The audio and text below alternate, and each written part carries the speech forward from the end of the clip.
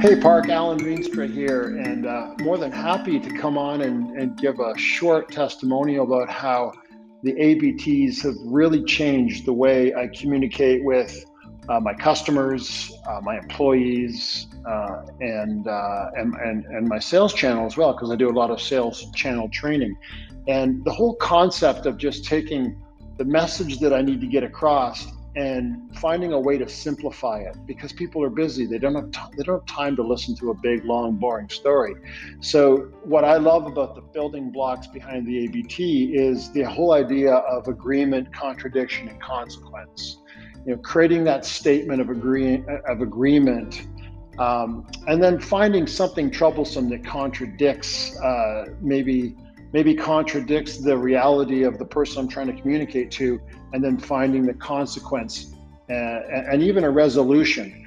It, it's a fantastic tool, and it's it's completely changed. Uh, and I see the results too. I, am getting res- uh, a lot more responses back to to my emails, to uh, uh, to my to my LinkedIn posts on social media, and so on. So great job, and thanks for everything you did. By the way, Brand Bewitchery, I absolutely loved your book.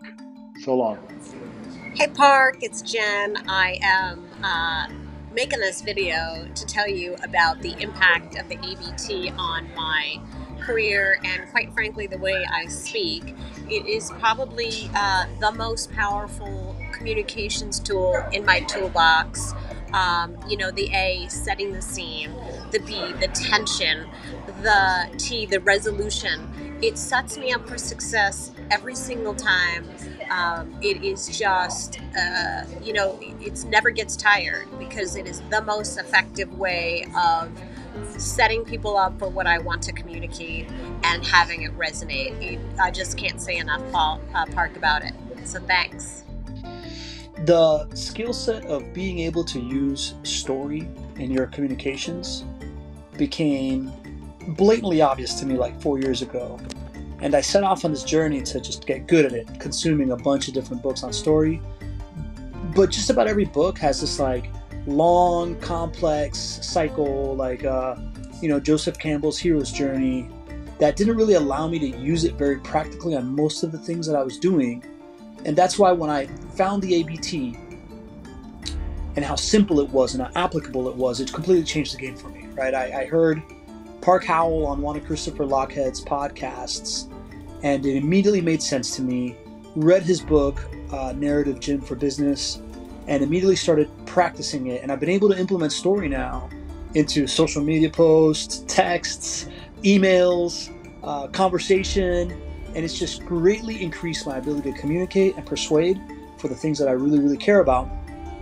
And it's turned me into this guy that's always recommending the ABT and that and that book to everybody, which then feeds this like feedback loop of people asking me for advice on their ABT, which gets me practicing my ABT more and more often, and it's made me a great storyteller and persuader. So I just I couldn't recommend it any higher. It's it's it's a phenomenal framework, great book, and Park Howell's work is just something that I follow closely.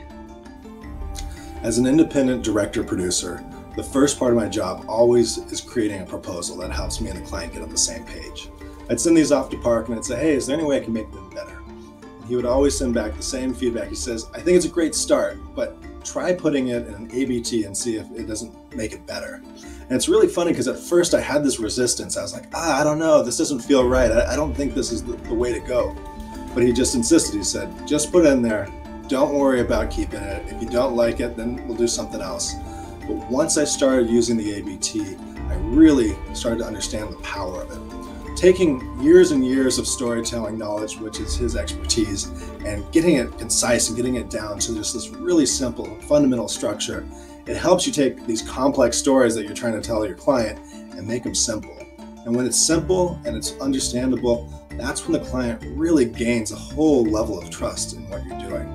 And they say, you know what? He says it so simply. Why didn't we ever think of it this way?